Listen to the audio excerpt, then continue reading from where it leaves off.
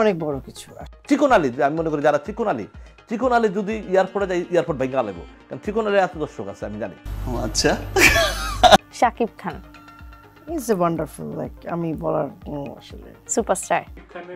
আমি ওর ব্যাপারে কথা বলতে চাই জনতা কো আপ মূর্খ সমঝনা বন্ধ কর দিজিয়ে যারা দুবাই থেকে আসে পাঁচজন প্যাসেঞ্জার ওখানে থাকে। কেনা কে চাহ ভাই আপ এগুলো জাস্ট একটা পাবলিক ইন্ডিয়ার থেকে বলে যে আমি আসতেছি তোমরা একটু এয়ারপোর্টে আসো। রিকোয়েস্ট টিকোয়েস্ট করে কয়েকটা ইউটিউবার কয়েকটা সাংবাদিক নিয়ে যায় আরে কেনা কে চাতে হো? সব ব্যাখ্যায় না যায় একটা মানুষ পঁচিশ বছর ধরে ইন্ডাস্ট্রিতে আছে। এখন ঘটনা যাদের মনে নিউজ নাই যারা নিউজ নাই তারাই দৌড়ায় যায়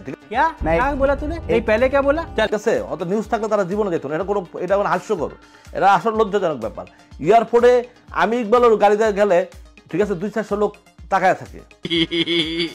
যে কোনো আমাদের যে শিবা সানু আছে শিবা সানু তারপরে যে আমাদের যে ডন আছে তারপরে যে আমাদের মিশা মামা গেলে তো পাঁচ ছয়শো লোক তো এক সেকেন্ডে হাজির হয়ে যায়। Emotional damn it Omar Sunny গেলে তো পাঁচ ছশো লাখ আমি তো আমি তো নিজে একবার অনন্তকে রিসিভ করছি তাই না? এয়ারপোর্ট থেকে। আমি তো দেখছি বাইঙ্গা বলাইছি এয়ারপোর্টে গেট এত লোক হয়েছে তো আমি কি ভিডিও করে ছাড়বো নাকি? এটা মানুষের হাস হাসাবো নাকি আমি? এগুলো হাস্যকর ব্যাপার। ঠিক আছে? কি কি কি কি বলুন। আচ্ছা, অনন্ত অনন্ত অনন্ত সবাই ঠিক আছে? তো এগুলো ওই যে ইয়ার পরে থাকে কিছু লোকজন তারাই দেখে আমরা এমন তো যে আপনার মানে ঠিকোনা রিসিভ করতে ঠিক আছে? মজা নেই আ